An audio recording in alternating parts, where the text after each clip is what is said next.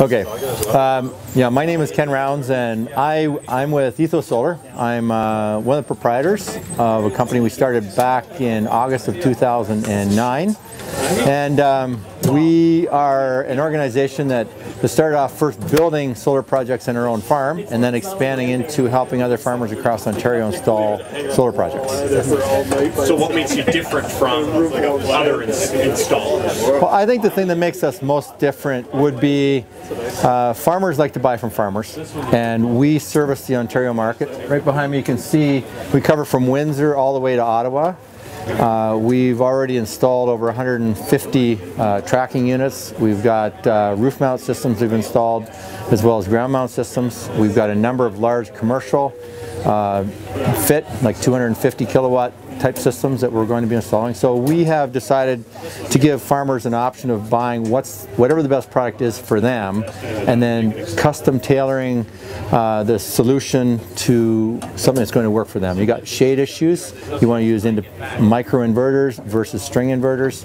Uh, if you're three phase uh, and helping farmers even build buildings. We, we work with, uh, we've got engineers, we've got electrical engineers and, and building engineers, so helping them in the building permit process, helping them in the registration registration process, helping them do a CIA process. Uh, we can get stamp drawings, line diagrams. Uh, farmers really don't like to do paperwork.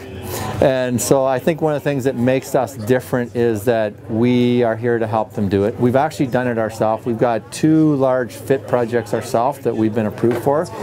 We've got three microFITs that are installed up and running. We've got two more we're going to be installing. And we started our first project got installed last October.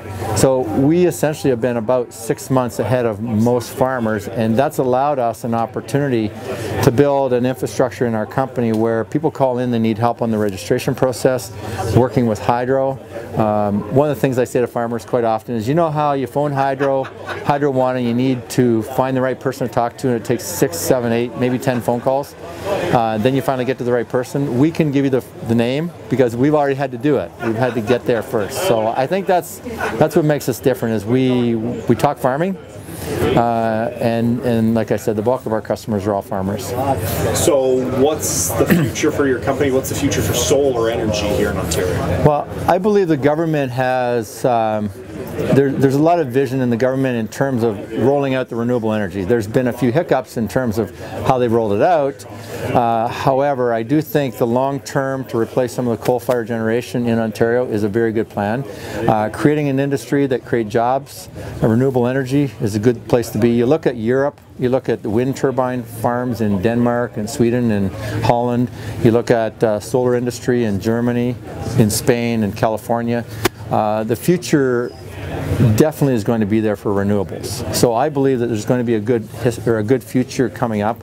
We uh, we started off just looking at this for ourselves, for our own passive income, but we've uh, we made a commitment as a family. This is something we plan to do for a long time, and we see there being a very strong future. We've been training a lot of electricians around Ontario.